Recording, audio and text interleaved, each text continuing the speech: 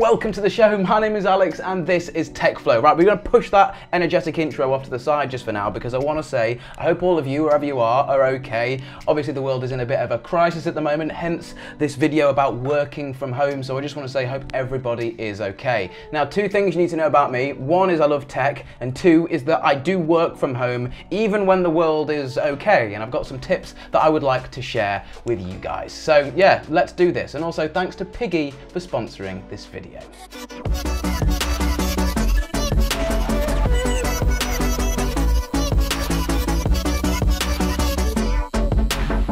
Now, it was Mother's Day a couple days ago. I didn't go and see my mum just because I'm trying to stop the spread of this thing, hopefully like everybody else is at home. However, she asked me if I was to go and see her to bring her a second computer monitor. She already has one, but it's useful to have two computer monitors if you've got two spreadsheets open. So I'm gonna show you guys how to connect your laptops to your TV now I do appreciate some of these tips are going to be a little bit vanilla to some of you, but you've got to remember that we're talking to a large audience here. So essentially getting a picture onto the TV, you need to connect a laptop to the TV. Now that is primarily done with an HDMI cable. Now first problem, Alex, I don't have an HDMI cable lying around. Meh. Well you probably do. There's probably one connected from your TV to your set-top box, for example. So just go fishing around. It kind of looks a little bit like this, and then essentially this is one of our laptops, the Acer Predator. We've done a review of this on the channel. Great laptop, and it has an HDMI port on the side of it. So down here, we've got my 16 inch MacBook Pro. Now, as you guys can see, headphone jack, two USB-C ports. That is it on this laptop. No more connectivity options. But introduce this dongle, links in the description. You plug that in and then it gives you HDMI.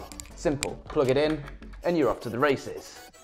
Right, so there's two reasons as to why you'd want to plug in your computer into the television. Number one would be to, well, have two screens, so you can actually have one web page open and another web page open, both on the laptop or computer and on the TV. Or if you've just got like a 13 inch laptop or even smaller and you want a bigger screen, well, there you go. But I can hear you guys in the comments already. Alex, you can't sit too close to your TV screen because it'll hurt your eyes. Don't worry, I hear you. This is the K400 Plus from Logitech. It's a super, super inexpensive plastic keyboard that also has a trackpad built into it. And then you plug this into your laptop so it can communicate wirelessly, and then you can sit back on your sofa and enjoy working from home.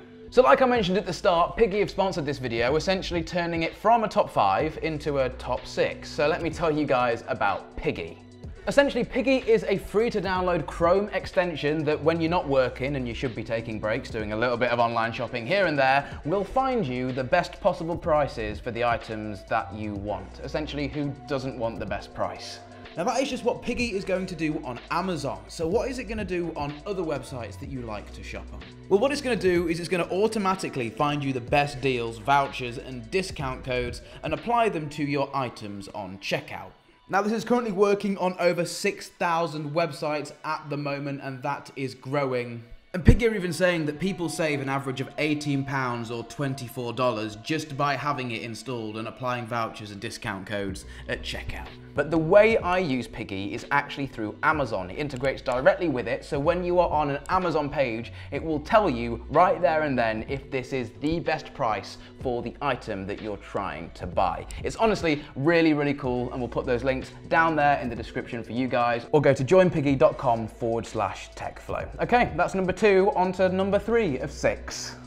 I've had thousands of calls over the last uh, I don't know, week or something. If you didn't know, I actually sell internet as well as doing this YouTube thing. So I've had thousands of calls, people saying, Alex, I need to get online. I can't get online. I don't have good enough internet. My internet's not fast enough. I need to work from home. And yes, some of you guys might be online, but it might be worth just giving your grandma or granddad or your mum and dad a ring just to make sure their internet is working okay because now everybody is sort of homebound. The internet staying connected is super, super important, not only for work, but people's mental states in their brain. So let's talk about getting connected.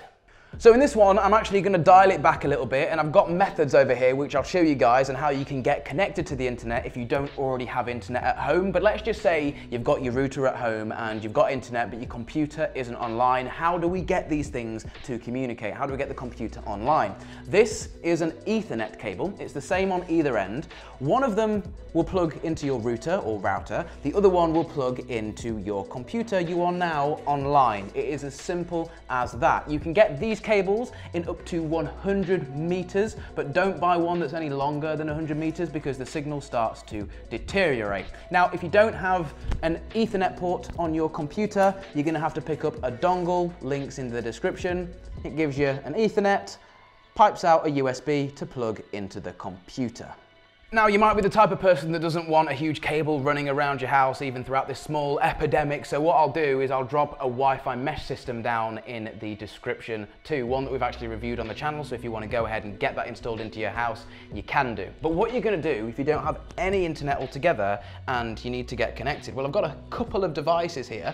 This one is a portable MiFi device. They all pretty much do the same thing. I'll take the back off and show you guys what's going on here. It has a little battery in it. It's powered by micro USB, and I'm not sure if you guys can see there, but there's actually a SIM card. So what this is gonna do is convert the data from the SIM card, which would usually go in a phone and give the phone data, it's gonna convert that to a Wi-Fi signal, which you can then connect your phone or your laptop or your computer or your smart TV to stream Netflix. You can go ahead and do that. That is a little portable MiFi device. This is something a little bit more permanent. You plug it in to the wall and it essentially does the exact same thing. In the bottom of it, you put a little SIM card. It's going to connect to the LTE or 4G or 3G network. It's got some signal bars on the front of it, some antennas on the back of it, and it's going to give you a Wi-Fi signal from the 4G internet. And it's also got two ethernet ports in the back of it. So if you don't have Wi-Fi on your computer or laptop, you can buy one of these, plug it in, plug in the internet cable, and you're good to go.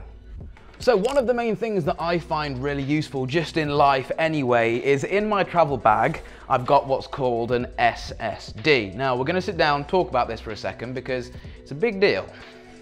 So, an SSD, this is one of them. Now they are super, super expensive, these SSDs, so don't fret, you can actually build your own one whilst you've got time at home. Uh, yeah, we did a video on it, so we'll put that in the description if you want to build your own one of these. But if you just want to buy one, we'll put this one in the description too. Essentially, these are great for storing absolutely everything. If you guys are going back and forth from work, trying to take big files, large files, video files, photos, or even just loads of text documents, you just want to have them all in one place put them on an SSD because also, if you notice, these things are super, super small, which means they're super, super rugged. So you can kind of chuck them about and they're absolutely fine.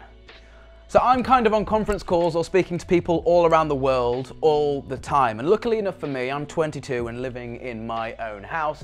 But I completely understand and sympathize with the people that have got to be on these conference calls whilst at home and they've got three or four kids that are running around screaming because they're at home and also the dog's barking and the wife is just going mental and all you want to do is have your conference call. Now these are noise cancelling headphones and you're probably thinking, Alex, how are these going to help me have my conference call? Now a little bit of background about these. Essentially what they do is they have microphones in them and play back the same frequencies that are around you inside the headphones to cancel them out. That's how they achieve actual noise cancelling. It's why you can't hear the jet engine when you put these on. Now, what a lot of people don't know is that they work for calls too, and it's all live and happens in real time. So what it's going to do is use the microphones around the headphones to pick up and monitor the ambient noise of your kids screaming and the dog barking. And then it's also going to pick up your voice and it's going to cancel out all of the other stuff. So you could literally have a conference call with these on your head in a room of people screaming and the people in the conference call wouldn't hear the people screaming. They'd just hear your voice. It's really, really cool. But these are expensive, 300, 400 pounds for a set of noise cancelling headphones. So I found an app that does it for free and you get 60 minutes each week for free and it does the exact same thing using an algorithm that these do but with your phone's microphone. So I'll put a link to that app down in the description. Hopefully it can help you guys out. Okay, so coming in at number six, it's been super, super difficult to try and get together items because everything is essentially out of stock. So what I've done is scoured the internet for cheap things that I think you guys may need whilst you're all at home. So first off, the Logitech C270 webcam is my favorite and it's cheap. However, it's out of stock because everybody's just buying buying it. So I found this one right here. I haven't used it myself, but yeah, it's in stock. So if you do need a webcam right now, buy this one. But if you can, wait for the C270 to come back in stock because like I say, look at these reviews, it's just a great camera for 17 pounds. Now I wanted to include a headset in this. Now please bear in mind this says gaming. This isn't for gaming. The reason I've included this is because it has a microphone on it which works with both PC and Mac. So if you're doing conference calls and you need to get a better quality audio source than the inbuilt microphone that's in your laptop or your tablet, this headset should do it. And it's also connected here by USB, not the 3.5 mil jack thing, which is quite annoying. So that's why I've included this here.